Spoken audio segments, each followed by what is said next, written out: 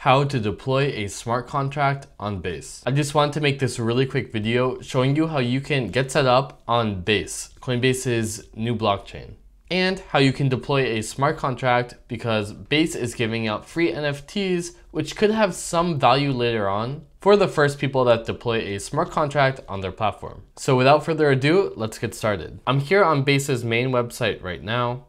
Um, the main websites that we're going to need are this docs website, so I'll open that up in a new tab. And if you go to blog, you can just take a peek at the NFT that they're giving out for this task. If you take a look at the blog post on April 6th, you'll see you can earn a commemorative NFT with the base builder quest. So we're gonna click on that. If you want to see the actual NFT that you'll be getting, I think that it's this right here, which is pretty cool. You'll also see in this blog post that there are a few steps on how to actually get the NFT, and that is connect your wallet, deploy your smart contract, and then you can mint it. So the main catch is that Coinbase really wants you to use the Coinbase wallet. Personally, I prefer using MetaMask for development, and I'll show you how to do it in an alternative way using MetaMask. So the first thing that we're actually going to need to do is actually add Base's testnet as a network to our MetaMask wallet. So I'm going to go ahead and go over to their docs and then click on this network information. So this network, Base Goerli, is the one that's actually available because at the time of recording, Base doesn't have their mainnet launched, it's just their testnet. So I'm going to go ahead and open MetaMask, click on this dropdown for the different networks, and then click Add Network. Then I can go ahead and click Add Network manually, and all we have to do is copy the information from the base docs into this field. So I'm going to go ahead and do that now. The RPC endpoint is going to be the new RPC URL on MetaMask. Base has said that they are going to be using Ethereum as gas, and so their testnet also uses testnet ETH, and copy in their block explorer URL. Then you can go ahead and hit save. Cool. We added that network, and you can see I actually have one testnet ETH. It's not actually worth $2,000, unfortunately. But that leads us to our next step, which is to get testnet ETH in order to have the gas to deploy a contract on Base. If you go back to their blog, you can see they make it really easy to get testnet ETH from a Coinbase wallet, but we're going to look at an alternative faucet. So in order to actually get Coinbase ETH not using a Coinbase wallet, you're going to want to scroll down and click on this QuickNode faucet. So once you're here, go ahead and click connect your wallet and connect to MetaMask. So now you can see that actually pre-populated the chain and the network along with my wallet address, so we can go ahead and hit continue. If you want to get more testnet ETH, you can send a tweet. I'm just going to say no thanks, give me the basics.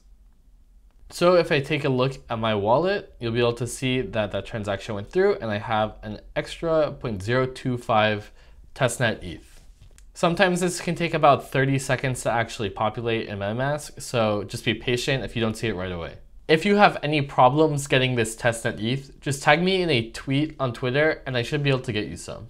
So in order to actually get started deploying the contract, go to remix.ethereum.org. This is a development environment where you can actually code smart contracts in your browser. It looks a little bit complicated at first, but don't worry, this is actually going to be pretty easy. So you can go ahead and close out of everything, then look over in this left side panel where you can see contracts. This storage contract is actually very, very simple and it's basically a hello world contract in Ethereum. This is a smart contract that we're going to deploy. If you go down to scripts, you'll see that this is a script that will actually deploy the contract. So make sure that on your MetaMask, your base Goerli network is selected. So before you can actually run this deploy script, you need to go over to this little button right here, which is deploy and run transactions, because we need to switch our network from a local network to the base testnet. So I'll go ahead and go right there now, click on environment and then click injected provider with MetaMask. Go ahead and hit next to connect your account. And you can see we're on our custom network 84531, which if you'll remember is the base chain ID. So then we can go back to the file explorer and then go over to the storage contract and then hit compile, which is this little green triangle. You can see it looks like that contract is compiled and ready to go. So we can go over to this deploy script and go ahead and run the script using the same green triangle. You'll need to sign a transaction to pay for the gas using the testnet ETH that we just got.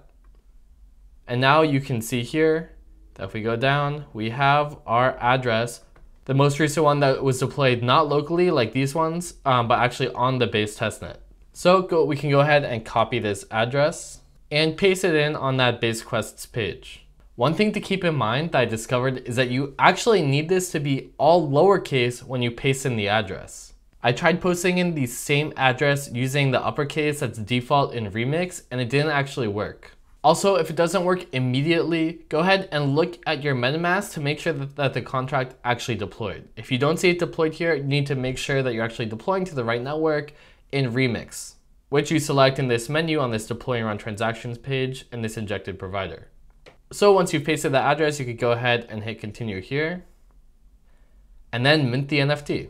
As always, you'll have to confirm the transaction MetaMask with more of your base ETH, which actually doesn't have this value and my NFT is claimed.